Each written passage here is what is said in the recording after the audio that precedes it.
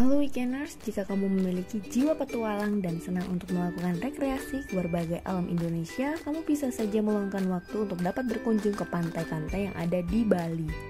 Pantai-pantai tersebut memiliki ciri khas masing-masing, namun kali ini akan membahas mengenai pantai Jimbaran. Nah, kira-kira apa aja sih ciri khas pantai Jimbaran? Tonton video yang sampai habis, jangan lupa like dan subscribe. Jika kamu sedang mampir ke Bali, jangan lupa untuk berkunjung ke pantai yang satu ini, yaitu Pantai Jimbaran. Lokasi ini memiliki keindahan alam yang dapat dikatakan sangat mempesona dan ada banyak aktivitas yang dapat dilakukan di tempat ini. Untuk masuk ke pantai ini, tidak akan dikenakan tarif sama sekali. Objek wisata di Pantai Jimbaran yang pertama ada wisata ikan.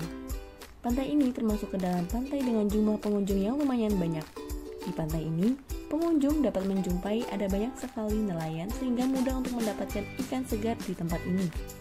Selain itu, mudah bagi pengunjung untuk dapat mencari restoran di tepi pantai ini. Yang kedua, menikmati indahnya sunset sambil menyantap makanan. Walaupun ramai dikunjungi banyak orang, tempat ini masih sangat terjaga keindahan dan kebersihannya. Hal tersebut dapat terwujud berkat kerjasama antara pengunjung dengan petugas kebersihan di tempat itu. Para wisatawan yang berkunjung ke tempat ini sangat disiplin dalam menjaga kebersihan. Setelah itu, sambil menunggu matahari terbenam, kamu dapat memesan berbagai macam makanan yang tersedia di tempat tersebut.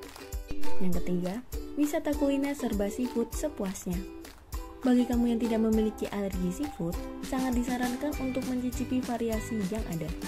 Variasi masakan seafood yang beragam dan memiliki cita rasa yang sangat luar biasa, sangat disarankan untuk menyantap makanan sambil menunggu datangnya sunset di tempat ini. Nah itu tadi beberapa ciri khas pantai Jimbaran. Jika tertarik langsung saja datang ke sini. Tonton terus video lainnya hanya di weekend.id.